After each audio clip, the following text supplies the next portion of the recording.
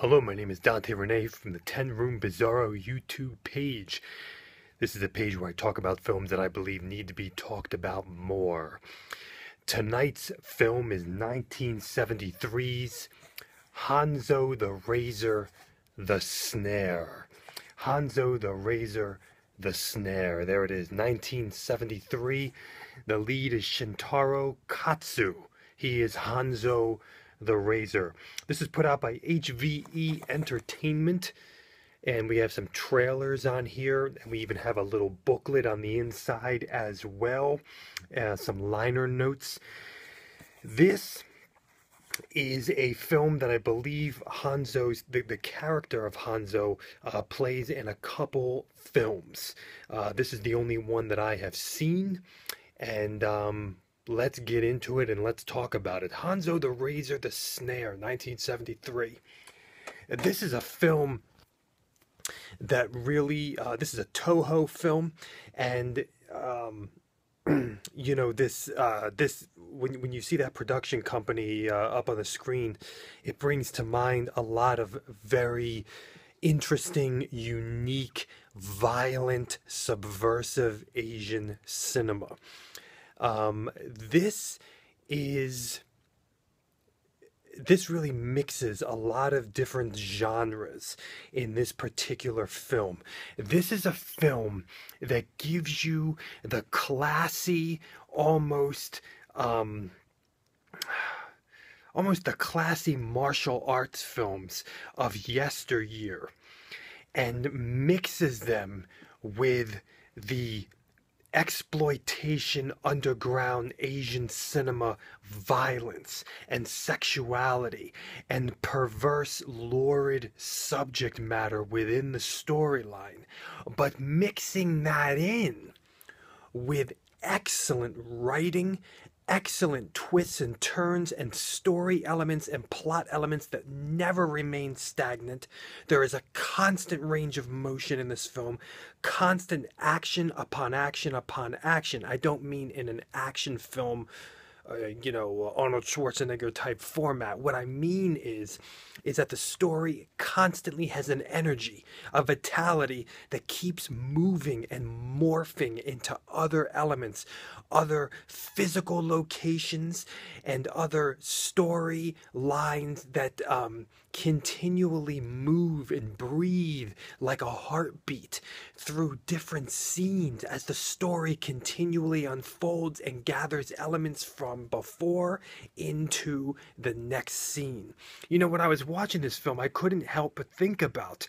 Um, you know, Quentin Tarantino and a lot of the way that he does films in the modern times. You know, really the throwback exploitation. And when you watch this film, you really see at least to me, where Tarantino pulls from um, in terms of that energy, in terms of that explosiveness, in terms of the twists and the turns that constantly keep the story moving, and the wild dialogue as well. Interesting, classy, yet exploitative and wild when we get into this film, the first thing I want to talk about is is um, you know the music. The music in this film is unbelievably diverse and interesting. You know, on one hand, we have this very avant-garde, experimental, shrill bursts and blasts of electronic wizardry.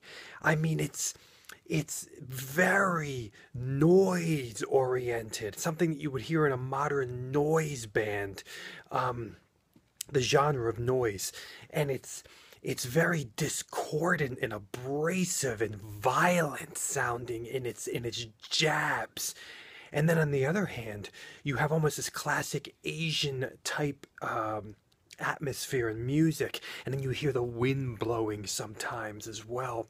And then on the other hand, you have this something that really sounds like 1973 exploitation cinema, even a little bit of like a black exploitation feel to the music, um, uh, the funky rhythms and the and the and the and the grooves you know really really a diverse score and then there's moments of darkness of of of real darkness disturbing atmospheric darkness with the music especially um, in one scene in particular, very disturbing uh, uh, scenes of violence and, and, and sexual violence. When we look at the style of this film, the filming style, there's a lot of style to this movie. I mean, that's exactly what you would expect. But we're not talking crazy, you know, uh, martial arts zooms into people's faces. You don't have that in this film. What you have are just lush shots. I mean, we're looking at really awesome architecture in this film, um, from bridges and and and and different landscapes and different uh, interesting uh, homes and rooms. I mean, this is a film that really is filled with rooms. It's filled. Um, with uh, almost small spaces in a way. But you have you have some shots like you have this one overhead shot that lasts for a little bit between two people about to fight.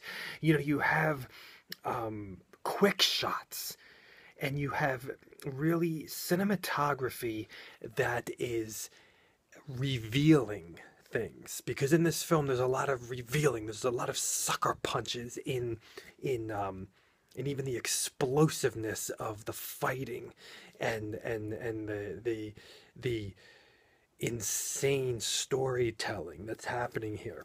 And there's so much style with the opening credit sequence that takes a while to start. And the movie begins and then the credit sequence comes in. I mean, you really feel like you're watching some kind of modern Tarantino film, and you can really see that, you know, this is the original stuff here, folks.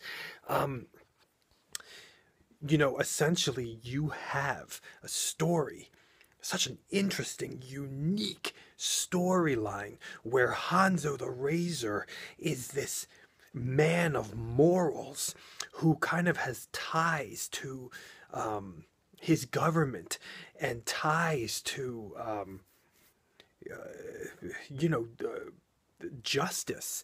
And what he does in some in some form or fashion is almost he's almost like he's almost like um, enforcing justice on the streets um, almost like vigilante style, yet he has connections, you know, to the government, to his government, and to the leadership.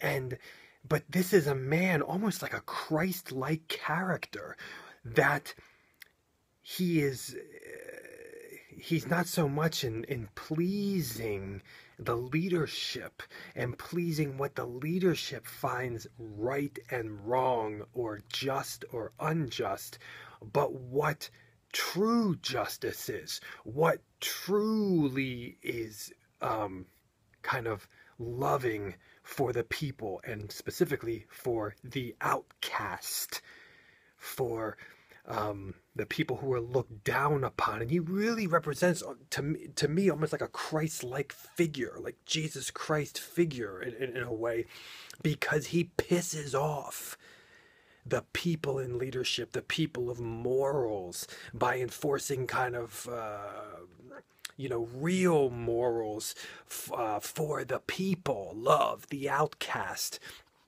and and and kind of and kind of exposes the greed and the butchery of the leadership. But he's also exposing um, the evil of the varieties of groups of criminals uh, you know within society. And really what we have here he he uh, the, the story kicks off with him kind of um, dealing with two criminals and they become his counterparts they become his servants and they provide a little bit of like this black humor throughout the film in some weird way and they're interesting funny characters and but not in a goofy way at all. And they go with him throughout the film as he goes into these various areas of of of different like just perverse weird crime situations that eventually all tie in to the like to the last half of the film as things get exposed and as he finally faces the biggest thief of all. But then another twist happens and you realize that someone else is the biggest criminal. Um, this is a film that really has some uh, diverse violence. This is a very violent film, and then there are moments of gore. There are moments of of you know shooting blood, but for the for the majority of it, does not shooting. It just happens a few times, and then you have a lot of just violence and stabbing and and blood and slicing and and and shoving knives through body parts. Um, and you do have um, some sexual perversity in this film as well, and some very crazy um, situations involving uh, kind of a demonic priestess and corruption in in uh, kind of a convent and and prostitution and kind of white slavery and and and uh, abortion and kind of like an abortion clinic or kind of some demonic abortion priestess. Um, so there are all of these wild storylines. You're mostly what you're having here is mostly topless nudity, and also uh, women's behinds, and even the lead characters uh, behind. And I got to tell you something else here, folks. As if this wasn't crazy enough, the lead character uses his penis. He has a large penis, and in a training sequence like Rocky at the beginning of the film, he's training his penis. You don't see it. You see it through his kind of his loincloth that he wears for the like almost the entire film with like a thong like a sumo wrestler thong. But yes, he uses his penis. I mean, so you have a film that really, you could almost see your grandfather watching if he liked martial arts films, and then all of a sudden he'd be like, turn this off right now. That's what this film kind of mixes. And it has very, very wild sequences. There's one especially extremely violent sequence in this film um, in, involving uh, the, the, this, this big uh, thief, this big crime lord. And I gotta tell you, this film is written so well. There's so many wild twists and turns that'll lead you into another episode of violence and and and and uh, just unfolding of the story. And Hanzo, the, the, the character of Hanzo, is freaking awesome. He's he's just hell bent mission, and he will take you do anything it takes. And there's suicide in the film, hara-kiri, and there's just so many different elements here. This is Hanzo the Razor, the Snare, folks.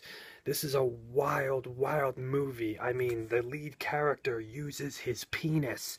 Um, there is uh, there are sexual situations, there's rape, there's children dying. I mean, this is a wild film, stab wounds and crazy fight sequences, uh, but not fight sequences that last too long. Not like a typical martial arts film as well. The fight sequences are rather short, but I mean, there are wild scenes of of, of fighting when it does happen and and of violence and um, this is a really really this is just an a wild sucker punch ass kicking perverse asian underground weird sexual um, film uh, there's some weird sexual fetishes in here involving blood and violence and licking the blood. I mean, there's some crazy stuff in this film. Here it is, folks. Shintaro Katsu, I, I hope I'm pronouncing that correctly, in Hanzo the Razor of the Snare. Wow, wow, wow. Put out by HVE Entertainment, Home Vision Entertainment. Thank you so much for watching the 10 Room Bizarro YouTube page where I talk about films that I believe need to be talked about more. Check out all my other reviews in this page and check out my own personal films at youtube.com slash poopy diarrhea. There will be pinky, a lot of pinky violence films being reviewed in the future and more Franco, exploitation, teen sex comedies, underground horror, all of it. Thank you. Good night.